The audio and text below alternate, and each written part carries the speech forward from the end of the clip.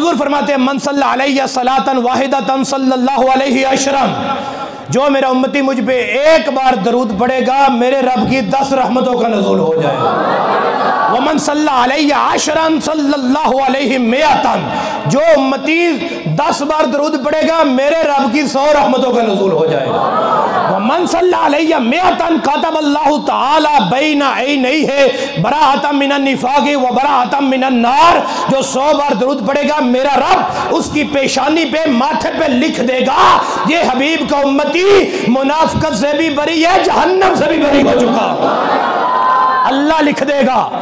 अरे सियालकोट वालों, जब रब लिखेगा तो नूर के कलम से लिखा जाएगा ना। उसमें रोशनी भी होगी, उसमें चमक भी होगी, हशर का दिन होगा, सवा नेजरे पे सूरज होगा, तांबे की ज़मीन होगी, सवा लाख नबियों के उम्मती जमा होंगे, वहाँ ये मुस्तफ़ा का उम्मती आएगा, जिसकी पेशानी से नूर निकल रहा होगा।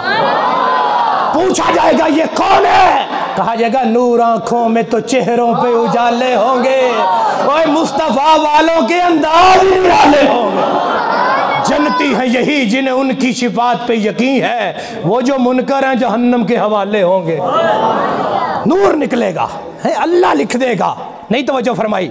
बंदा सारी ज़िंदगी भी अल्लाह अल्लाह करता रहे ना, बात नहीं बनती। रब एक बार बंदे को बंदा कह दे तो बेड़ा पार हो जाता है। अल्लाह लिख देगा नूर के कलम से। अगर रिवायत खत्म हो गई होती तो मैं भी कर देता, अभी आगे है। अभी इश्क की मेराज आ गई है। मैंने आज आपसे बहुत बातें करनी है। इश्क ठंडा नहीं होना चाहिए। मोहब्बत से जरा सुबह अल्लाह एक तो अल्लाह लिख देगा, ये जहनमी नहीं है, मुनाफिक भी नहीं है। पता चला, रब दरूद की तोफीक ही उसे देता है। जो ना मुनाफिक होता है, ना जहनमी होता है। समझ आ रही है मैं क्या कह रहा हूँ? तोफीक ही उसे देता है। फरमाया वस का नहुल्लाह यौमल कियामत, माई शोहदा। एक तो रब इसकी पेशानी पे लिखेगा, ये जहनमी नहीं है। दूसरा, हशर के दिन ये उस सफ में खड़ा होगा, जिस सफ में कहीं तो मुमताज़ कादरी है, कहीं इल्म दीन खड़ा है। नहीं तो फरमाई तलवार उठाई नहीं, मैदान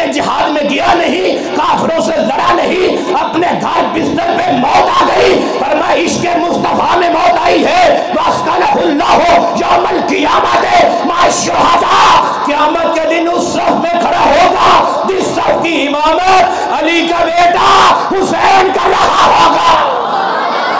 उस सफ में खड़ा होगा। उस सफ में खड़ा